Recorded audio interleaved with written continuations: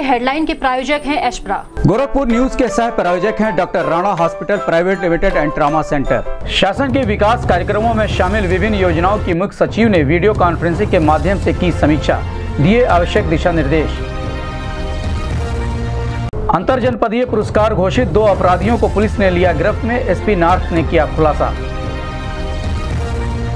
जंगल कौड़िया के खंड विकास अधिकारी के पक्ष में आया तीसरा पक्ष। प्रधान संगठन ने कहा, बिस्टोली के प्रधान द्वारा वीडियो पर लगाया गया आरोप बेबुनियाद। कुख्यात रामा यादव गिरोह के पच्चीस हज़ार के इनामी बदमाश को पुलिस ने मुठभेड़ में दबोचा। तमंचा, कारतूस व मोटरसाइकिल बरामद, एसपी नार्थ ने किया खुलासा। जिलाधिकारी की अध्यक्षता में संपन्न हुई प्रधानमंत्री शहरी आवास योजना की प्रगति की समीक्षा, कहा, किसी प्रकार की लापरवाही, शिकायत को नहीं किया जाएगा क्षम।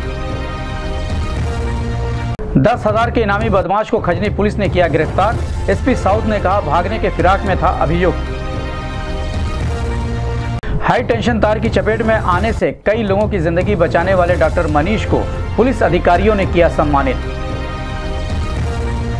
विश्व हिंदू परिषद की युवा शाखा बजरंग दल द्वारा आयोजित हुआ अखंड भारत संकल्प दिवस कार्यक्रम।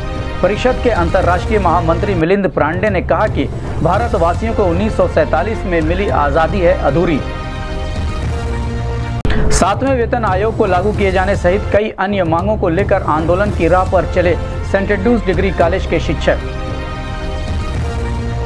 गोरखपुर विश्वविद्यालय में छात्र संघ चुनाव की मांग को लेकर छात्रों का पाँचवें दिन भी अनिश्चितकालीन धरना रहा जारी।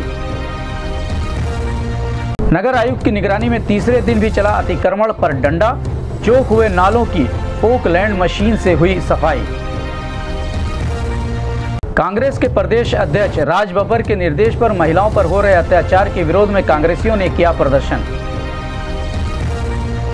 पोल खोल, दावा खोल के माध्यम से विद्युत दरों में बढ़ोतरी सहित छह सूत्रीय मांग को लेकर राष्ट्रीय लोकदल ने मोहद्दीपुर विद्युत उपकेंद्र पर किया विरोध प्रदर्शन। और प्रगतिशील अधिवक्ता संघ का शपथ ग्रहण हुआ संपन्न। अध्यक्ष ने कहा, अधिवक्ता के हित की लड़ाई लड़ेगा संगठन।